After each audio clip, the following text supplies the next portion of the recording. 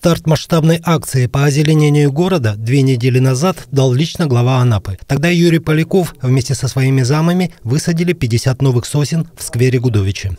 Мы стараемся сажать деревья там, где находятся пеньки, для того, чтобы сохранить ток количество зеленых насаждений, которые есть. Не только сохранить, но и приумножить. Глава Анапы поставил задачу. До конца года на курорте необходимо высадить не менее 500 деревьев. Работа ведется как в центре города, так и на окраинах. Очередная точка – новый микрорайон Морская Гаргипия. Сейчас э, по поручению главы мы не только э, восстанавливаем э, насаждения, которые были спилены, но и делаем новые. Как вы видите, мы сделали аллею. Э, здесь еще планируется тротуар.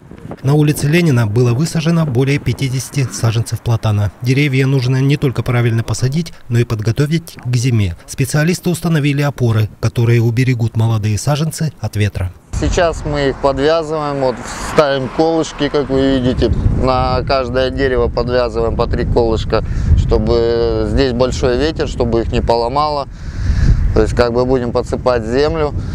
И посадили на улице Владимирской еще 18 э, точно таких же платанов. В дальнейшем мы еще посадим клены, около 70 деревьев. В этой части города деревья практически отсутствуют. Раньше здесь был пустырь. Теперь, говорят местные жители, новая зеленая зона станет настоящим украшением микрорайона. У нас солнечный город Анапа, поэтому хочется, чтобы э, очень зеленый, призеленый он был еще дополнительно. У нас строительство идет везде, поэтому э, параллельно строительству я бы хотела, чтобы у нас рядом с домами садили побольше бы деревьев, цветов. Это же прекрасно. Здесь жарко летом, а, и такая будет аллея, тень будет падать. Мы только благодарны вам и побольше бы таких насаждений. Спасибо вам большое.